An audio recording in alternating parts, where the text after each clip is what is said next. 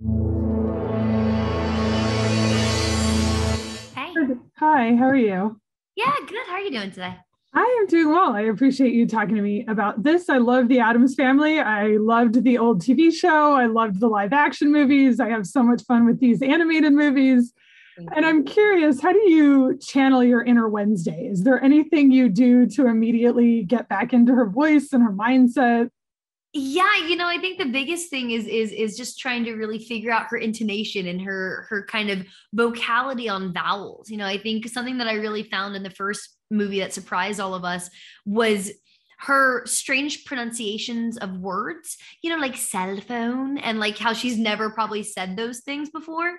So I really tried to focus on that and kind of get into the space where she's still observing and understanding and and you know coming into the 21st century almost. You know, she's like pull it out of the 1700s and like put into the 21st century almost, you know.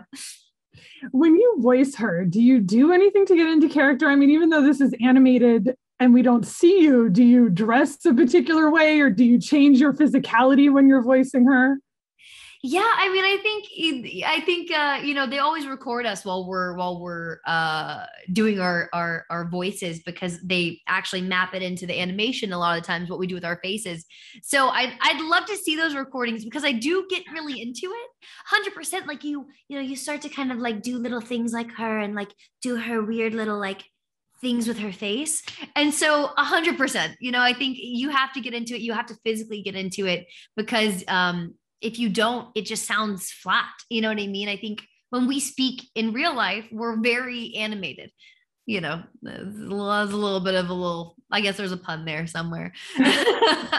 but so when you're doing animation, you have to be as animated as you are in real life, if not more so.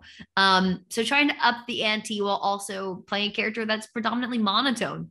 Um, so trying to to you know walk that walk that tightrope even though the Addams family are so well known and so iconic as characters, this version feels a bit different. Mm-hmm. So, what do you like about her look and her personality and this specific Wednesday?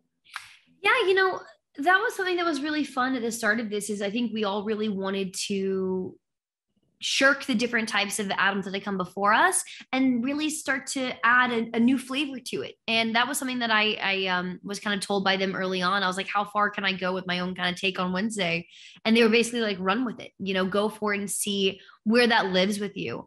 Um, and so I really tried to find my own Wednesday and, and, uh, and, and find something different for audiences because that's something I really love watching remakes and stuff like that is when people do have their own take on the character um, and and their own kind of pace on the character. So that was something that we we really wanted to modernize and see what that looks like taking the the girl from from the the time period and putting her into a more modern outlook and how much she also feels like a fish out of water within that Wednesday has a bit of an identity crisis in this film. A little bit. Did seeing her try to fit into another family just really sort of help solidify why she belongs in the Addams family for you? Oh, for sure. I mean, her with the turtleneck and lab coat, like, no way. That is not Wednesday Addams. Um, you know, and, and then her calling Morticia Morticia instead of mother. I was just like, ah, like, don't do it.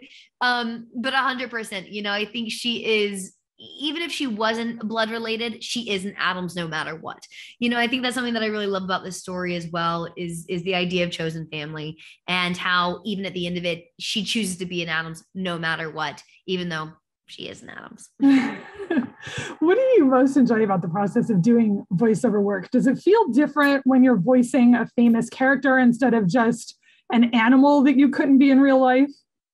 Oh, a hundred percent. You know, you really, you really want to kind of what we were saying before. You want to get into the physicality. I think when you're being a person, um, and you really want to try and personify them in a way where they feel human. You know, they feel like they could walk off the screen. And and I think when you really get into the sweet spot of that, that's when you you get to watch the film and you feel moved and you feel you know really kind of awestruck by the emotion. And in this one for sure like i i definitely teared up at the end. I was like oh. Like I, I was really moved by this by this uh by this take on this film.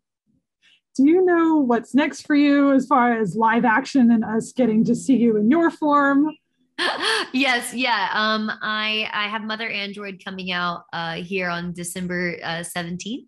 So I'll be uh releasing a bunch of stuff on that pretty soon. And then currently I'm filming a show for Amazon um by the creators of Jonah uh, Nolan and Lisa Joy um called The Peripheral. And that's kind of sci-fi too, right? I mean, it sort of falls into yeah. into that whole category. What it's what very sci-fi, yeah. What attracted you to that project and how what kind of take on sci-fi is it? I mean, I think William Gibson is such a great writer. Um, and I've, I've always been interested in his writing. So it's a wonderful book.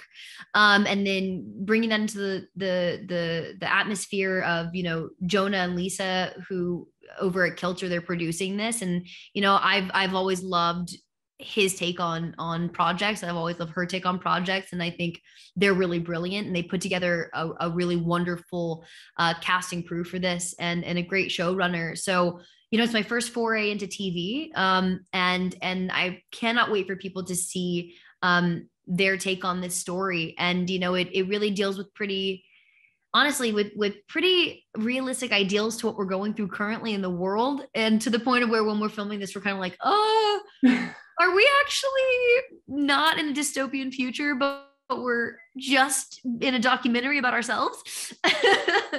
so it's been fun. It's been mind boggling. It's been tricky. It's been fun. And I think people are going to have their, you know, their, their, their, their socks blown off a little bit by this one. It's, uh, it's tricky. It's tricky.